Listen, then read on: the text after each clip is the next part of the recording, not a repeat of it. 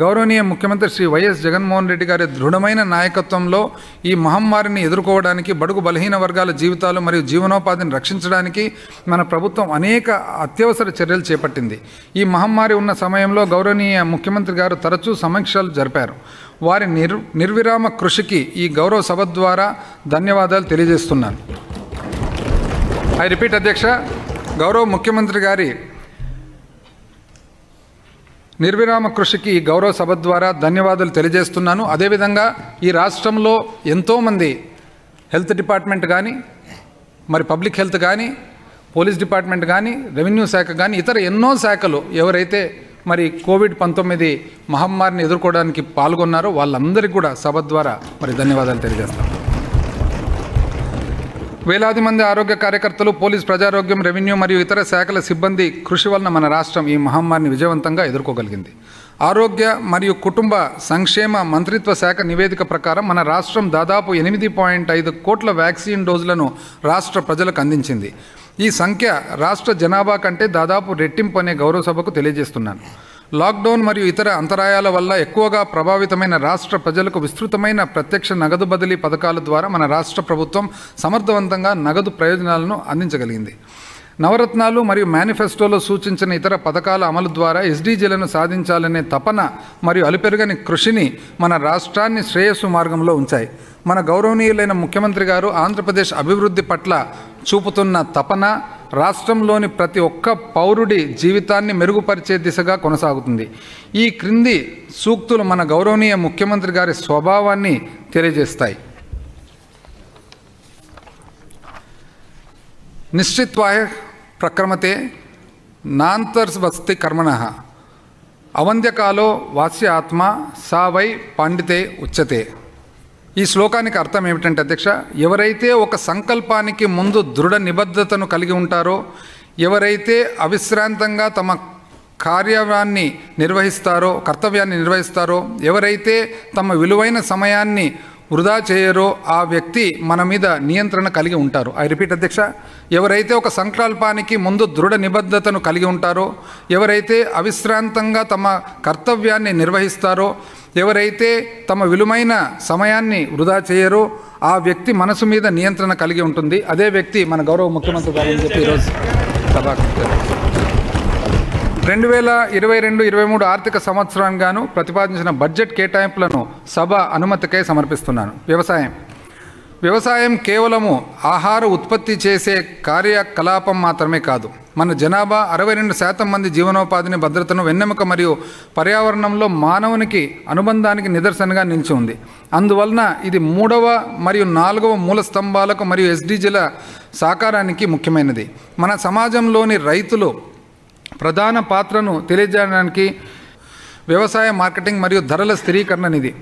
రైతులకు మద్దతు ధర అందించడంలో మార్కెటింగ్ శాఖ కలిగే నష్టాలను పూడ్చేందుకు మూడు వేల కోట్ల రూపాయల ధరల స్థిరీకరణ నిధిని మన ప్రభుత్వం ఏర్పాటు చేసింది. మన రాష్ట్రంలో విస్తృతంగా పండించే మిరపకాయలు పసుపు ఉల్లి చిన్న మినుములు అరటి బత్తాయి వంటి మరో ఆరు రకాల పంటలను మన ప్రభుత్వం కనీస మద్దతు ధరను ప్రకటించింది. ఐ రిపీట్ అధ్యక్ష మన రాష్ట్రంలో విస్తృతంగా పండించే మిరపకాయలు పసుపు ఉల్లి చిన్న మినుములు అరటి బత్తాయి వంటి మరో ఆరు రకాల పంటలను మన ప్రభుత్వం కనీస మద్దతు ధర ప్రకటించింది. కేంద్ర ప్రభుత్వం రెండు వేల ఇరవై రెండు ఇరవై మూడు బడ్జెట్లో పదహైదు వందల కోట్ల రూపాయలను మాత్రమే కేటాయించింది. రెండు వేల ఇరవై రెండు ఇరవై మూడు ఆర్థిక సంవత్సరంలో ధరల స్థిరీకరణ నిధి భర్తీ కోసం ఐదు వందల కోట్ల రూపాయల కేటాయింపును ప్రతిపాదిస్తున్నాను. అంటే అధ్యక్ష కేంద్ర ప్రభుత్వం పదహైదు వందల కోట్లు కేటాయిస్తే రాష్ట్ర ప్రభుత్వం మూడు వేల కోట్లు కేటాయిస్తూ మూడు వేల కోట్లలో ఏదైతే తక్కువ పడుతుందో దాన్ని భర్తీ చేసేదానికి ఐదు వందల కోట్లు కాకపోతే మొత్తము మూడు వేల కోట్లు అని చెప్పి తెలియజేస్తా ఉన్నాను అధ్యక్ష.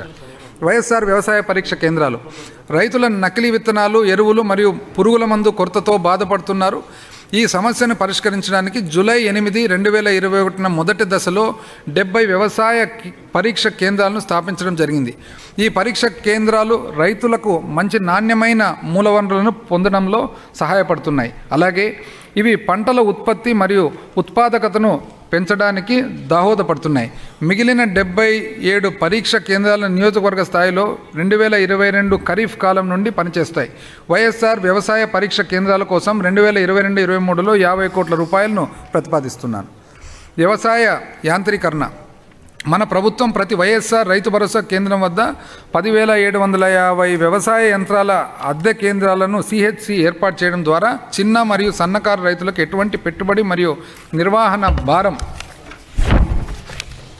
లేకుండా అద్దెకు వ్యవసాయ యంత్రాలను అందించడానికి వరి పంట ప్రధానంగా ఉన్న ప్రాంతాల పంట కోతలతో యాంత్రీకరణ సేవలను ప్రోత్సహించడానికి పదహారు వందల పదహైదు క్లస్టర్ స్థాయి సిహెచ్సిలను పంట కోత యంత్రాలు అనగా కంబైన్డ్ హార్వెస్టర్లు వరిగడ్డి బెయిలర్లు మొదలగు వాటితో మన ప్రభుత్వం ఏర్పాటు చేస్తుంది.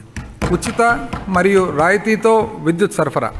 మన ప్రభుత్వం వ్యవసాయ అవసరాల కోసం పంతొమ్మిది పాయింట్ అరవై నాలుగు లక్షల పంపు సెట్లకు ఏ తొమ్మిది గంటల ఉచిత పగటిపూట విద్యుత్ సరఫరా చేస్తుంది.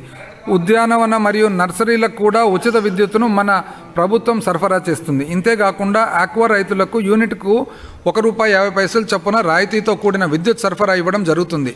రాష్ట్రంలోని రైతులకు ఉచిత విద్యుత్ సరఫరా కోసం నగదు బదిలీ పథకాన్ని అమలు చేస్తున్నాం.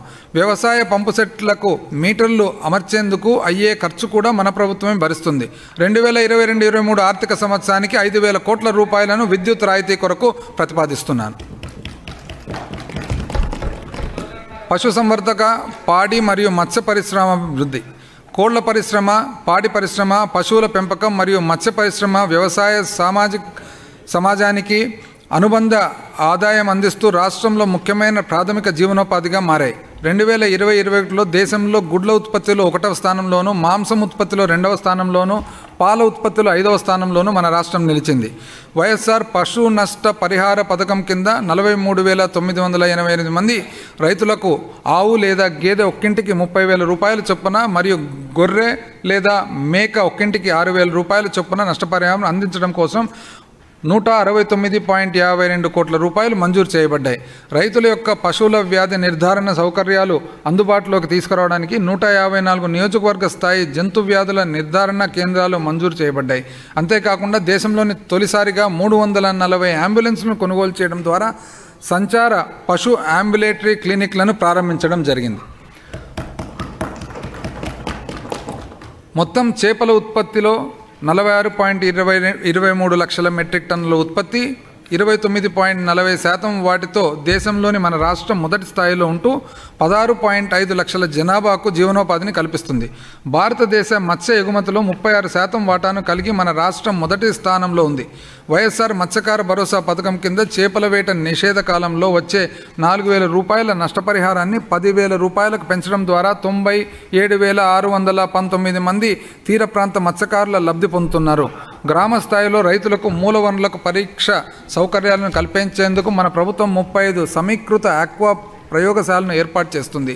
అదనంగా సముద్రంలోని లోతైన ప్రదేశాల చేపల వేటను ప్రోత్సహించడానికి మరియు సురక్షితమైన బైరింగ్ సౌకర్యాలను అందించడానికి అంతర్జాతీయ ప్రమాణాల ప్రకారం ఎనిమిది చేపల వేట హార్బర్ నిర్మాణానికి మన ప్రభుత్వం చేపట్టింది. రెండు వేల ఇరవై రెండు ఇరవై మూడులో పశుసంవర్ధక పాడి పరిశ్రమ అభివృద్ధి మరియు మత్స్యశాఖకు పదహైదు వందల అరవై ఎనిమిది పాయింట్ ఎనభై మూడు కోట్ల రూపాయల కేటాయింపును ప్రతిపాదిస్తున్నాను. ప్రజా పంపిణీ వ్యవస్థ. మన ప్రభుత్వం ప్రజా పంపిణీ వ్యవస్థ పీడిఎస్ కింద పౌరుల ఇంటి వద్దకే అవసరమైన వస్తువులను పంపిణీ చేస్తుంది.